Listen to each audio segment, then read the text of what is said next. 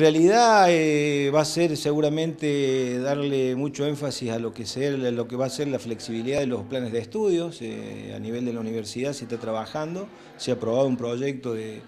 flexibilización de las currículas. Es un problema que nosotros tenemos,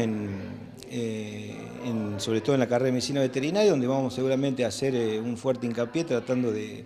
avanzar en, algunas modificaciones, no en un cambio de plan en concreto porque estamos por ahí impedidos ya que hemos acreditado las carreras, eh, la carrera acreditada se acredita con un plan de estudio que está aprobado por el Ministerio, bueno, eh, tenemos seis años por delante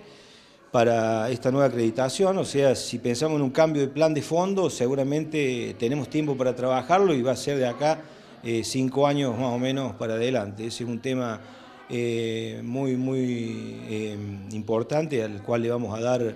eh, mucho énfasis. También consideramos darle mucho valor a lo que es la enseñanza de grado, consideramos que,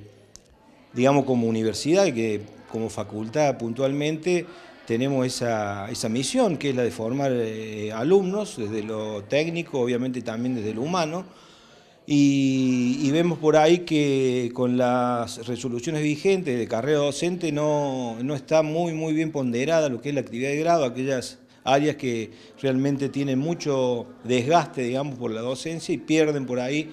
eh, no pierden, sino, sino no tienen el tiempo necesario para desarrollarse en lo que es la parte de investigación, eh, de otras actividades que obviamente en el currículum pesan más y, de esa manera se ven relegados en lo que es carrera docente. Ese también es un punto que estamos eh, trabajando, obviamente te deberíamos presentar un proyecto, porque debería ser un proyecto que impacte sobre la universidad.